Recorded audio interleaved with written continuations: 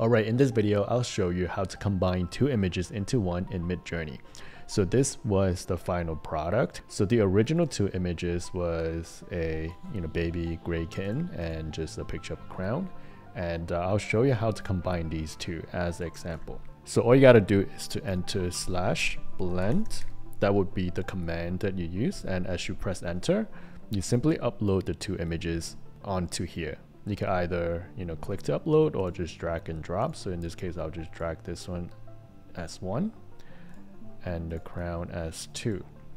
And then you want to click down here and then you can choose a dimension. So there are three options for the dimensions portrait square or landscape. So let's go with landscape and just so you are aware, you can actually combine up to five total images in Midjourney. So if you have more images that you want to combine, you can just click on, you know, here, plus three and more, and just click on the image number and then you'll be able to upload the image. Press enter and let it run. It'll take about a minute or so.